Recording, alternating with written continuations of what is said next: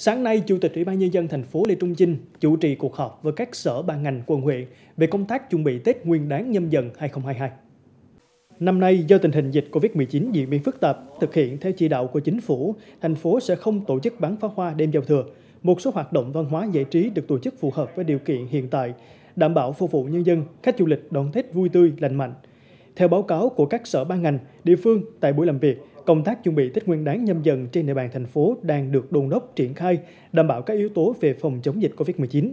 Hàng hóa Tết được đảm bảo, công tác kiểm tra an toàn vệ sinh thực phẩm được đẩy mạnh thực hiện từ Tết dương lịch. Việc hỗ trợ quà Tết cho người có công, gia đình khó khăn được thực hiện kịp thời. Tình hình an ninh trật tự cơ bản được đảm bảo, công an thành phố đang tăng cường kiểm soát người nhập cảnh trong thời điểm Tết Nguyên đán cận kề, đặc biệt là công tác giám sát tại sân bay. Ngành y tế thành phố đã chuẩn bị cơ sở vật chất phục vụ cho công tác điều trị COVID-19 cũng như tổ chức tốt công tác khám cấp cứu, chăm sóc, chữa trị người bệnh trong dịp Tết.